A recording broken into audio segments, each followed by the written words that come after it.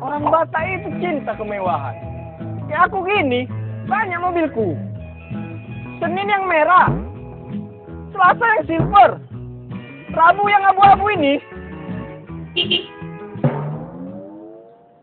Lai, tolong minggir Lai, mau keluar. Oh siap bos, siap. Yo jalan. Hati-hati bos. Ini buat jajan. Siap. Duit.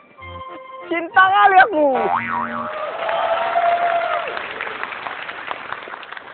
Selamat malam, Horas.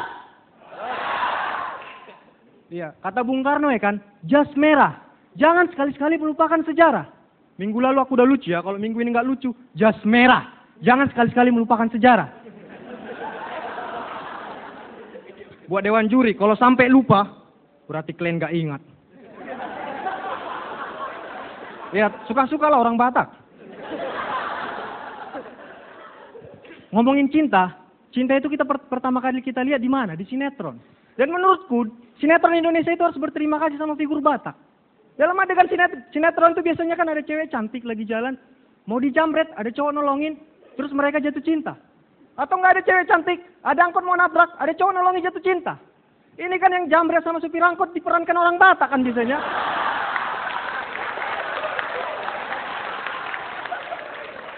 Tapi kenapa figur Batak ini selalu jadi peran pembantu, jarang jadi peran utama? Karena memang kalau jadi peran utama jadi nggak keren sinetronnya. Masa sinetron judulnya angkot yang tertukar? Kalau yang kembar-kembar gitu, Tigor dan Tagor.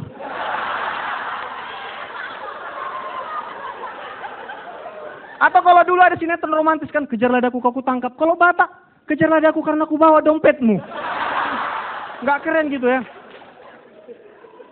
Kata orang aku ngomong galak gitu kan keras-keras. Aku juga nggak tahu kenapa. Tapi aku pikir-pikir mungkin ini karena aku kebanyakan nonton FTV.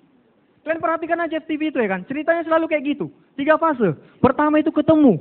Habis itu berantem. Habis itu jatuh cinta. Makanya aku setiap ketemu orang pengen berantem aja. Pasti nanti jatuh cinta ini pikirku kan.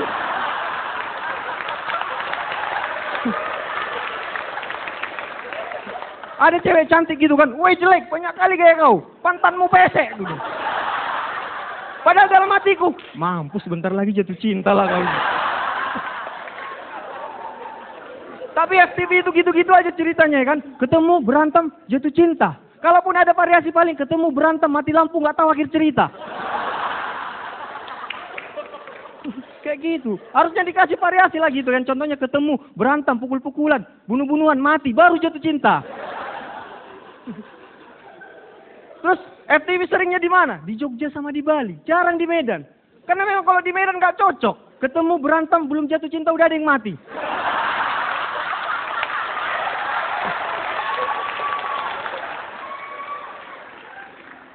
Lagian pun kalau FTV di Medan judulnya masa calon pacarku mati ku bunuh.